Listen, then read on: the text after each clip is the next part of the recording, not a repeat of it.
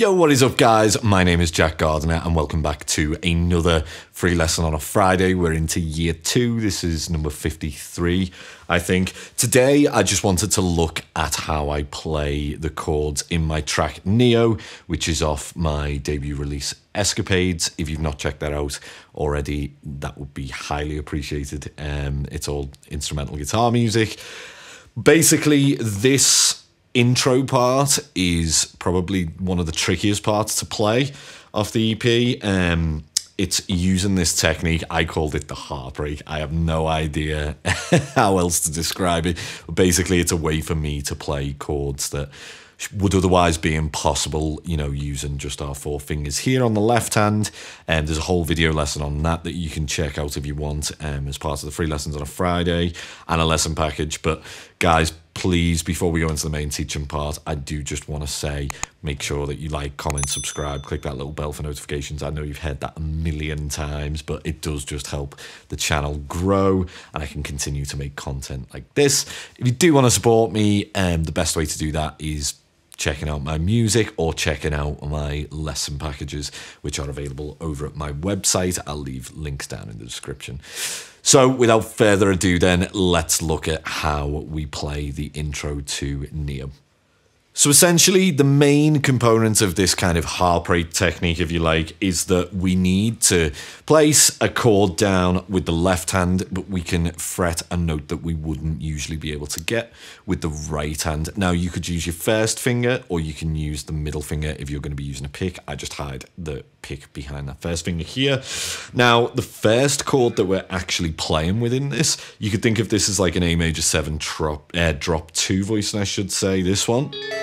So if you think, you know, major seven drop twos, this is the one which we'd usually get. And the root of A would usually be here. But instead of doing that, what I actually want to do is play the major nine as the lowest note possible. So that would be, you know, physically impossible for us to play with these four fingers. So I'll hold that on the 14th fret of the A string there, and we can go like this. Gives this lovely kind of waterfall effect, I think. Now, on the next chord that we play then, this is actually kind of like a drop two of um, a minor seven chord, F sharp minor seven. But when we use minor seven chords, um, with the relative major, so in this case, relative major of F sharp is D, we get lovely like major nine chords anyway. So this would be kind of like a D major nine, I guess, if you like. So it's this shape. This one, the root which I'm going to play is actually going to be the D up here. So it's actually going to sound like a fourth higher than the lowest note of the left hand. Probably a little bit too much distortion. Let me try that again. This kind of sound, which I think is lovely.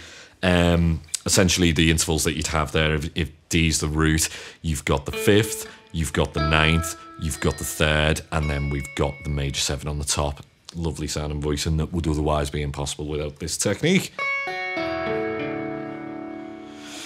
Now, the next chord that we've got then is going to be actually kind of like an F sharp major 9 voicing. So the voicing I'm using is this. If you think it's just without the root. Um, but the note which I'm going to play here is actually going to be the major 9 as well. So it's the lower octave.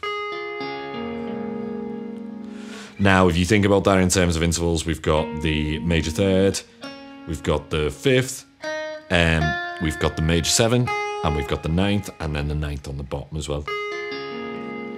That's what I'm thinking of in my head anyway. And then the last chord is that same shape, so it's kind of like an E major 9, but I'm going to do something funky up here. So that's the bottom half of the shape, but I'm actually going to play the sharp 11. So this is kind of like a Lydian sounding chord. Um, and then I hit that low E string. While I do that, I slide that sharp 11 down to the major third. I just wasn't pushing down hard enough there, sorry guys. But essentially, it's my kind of attempt of sounding like, you know, Jon Gomm when he plays Passion Flower with all of these detuned kind of ideas. I think that's what I was really going for when I wrote this, but so really, it's a collection of just a load of major seven chords. Um, And I really like the sound of how this technique enables us to get these kind of crazier sounding voicings, if you like. If you do want to check out um, the full tune and the full transcription, then they are available over at my website. Um, it's the Escapade Standard Pack, I think, or Deluxe Pack, it should be called, where there's a full transcription of the tune. If you want to check it out, you can check out Bandcamp, Spotify, Apple Music, all that kind of stuff. Um, so yeah, I hope you guys enjoyed that one. I hope it encourages you to experiment with some of these voicings using this technique over here. If you did like it, please do let me know. What is it you guys want to see in the next free lesson on a Friday? I am all ears. Um, this was actually a suggestion as well. Some of you said you wanted to look at some of the tracks from Escapade, so I thought this would be a nice one to take a look at. Guys, before I sign off here, please do make sure you like, comment, subscribe, click the little bell for notifications. I know I've said it again, but it just helps the channel to grow. Okay, guys, hope you're all safe and well out there. Till next time, Cheers.